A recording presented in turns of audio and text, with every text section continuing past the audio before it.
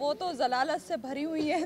अरे देखिए जो खुद जलील होते हैं तो हम किसी को जलील करके क्या फ़ायदा है? काकी ने अभी भी इंटरव्यू में कहा कि अर्शी तो मेरे घर पर झाड़ू पोछा करते हैं काम करने आते तो उसके बारे में वो तो जलालत से भरी हुई है।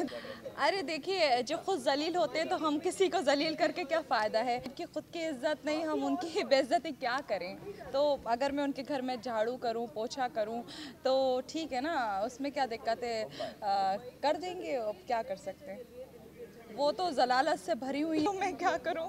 मैं उनको जवाब देना पसंद नहीं करती, क्योंकि अगर मैंने उनको जवाब दिया तो आप लोग वो कोल्ड वार करके चलाना शुरू कर देंगे और फिर वहाँ से और जवाब आएगा, फिर यहाँ से मेरे मुँह से कुछ निकलेगा। तो इसलिए भैया माफ़ करो, उनसे तो दूर रहो तो बेहतर है। शो के टाइम मिली तो हाय हेलो है दैट्स इट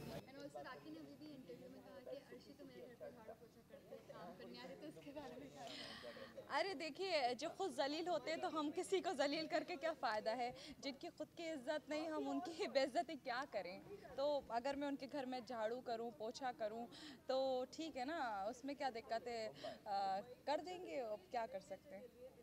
वो तो जलालत से भरी हुई है तो मैं क्या करूँ? मैं उनको जवाब देना पसंद नहीं करती, क्योंकि अगर मैंने उनको जवाब दिया तो आप लोग वो कोल्ड वार करके चलाना शुरू कर देंगे और फिर वहाँ से और जवाब आएगा, फिर यहाँ से मेरे मुँह से कुछ निकलेगा। तो इसलिए भैया माफ़ करो, उनसे तो दूर रहो तो बेहतर है। शो के टाइम मिली तो हाय हेलो दैट्स इट